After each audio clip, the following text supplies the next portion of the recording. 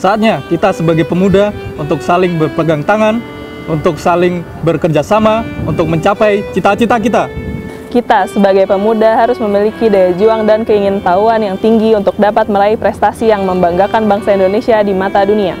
Kita, pemuda sebagai agen perubahan harus memanfaatkan teknologi dengan positif untuk membangun bangsa.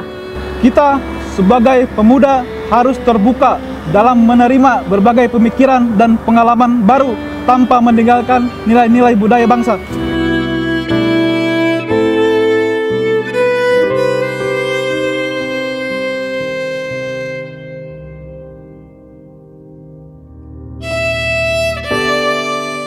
Kami, putra dan putri Indonesia, mengaku bertumpah darah yang satu, tanah Indonesia. Kami, putra dan putri Indonesia, mengaku berbangsa yang satu, bangsa Indonesia. Kami, putra dan putri Indonesia, menjunjung bahasa persatuan bahasa Indonesia.